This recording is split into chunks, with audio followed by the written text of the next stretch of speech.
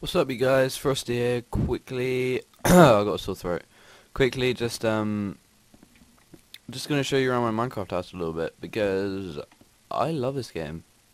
Um, I have done for a while now. I don't know who's built this, but oh no, oh don't worry. Um, that's not supposed to be there. I don't know who did that or why it's there, and uh, neither is that bridge actually.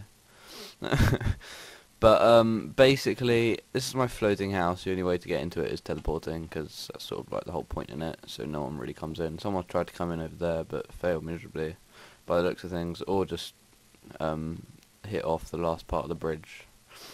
And um, so anyway, uh, I'm wanting to make Minecraft videos at the moment, and I'm not sure whether to or not, because I know it's slightly unoriginal. Well, extremely unoriginal, but I think I'd really enjoy making videos on this, and um, just basically wanted your views because I really would like to make videos on it, but obviously I don't want to make videos which no one's going to watch, so please just give me your feedback and get back to me as soon as possible, and I acknowledge every comment I get. Some people think I don't, by the way, um, which is stupid considering I don't, I'm not exactly popular.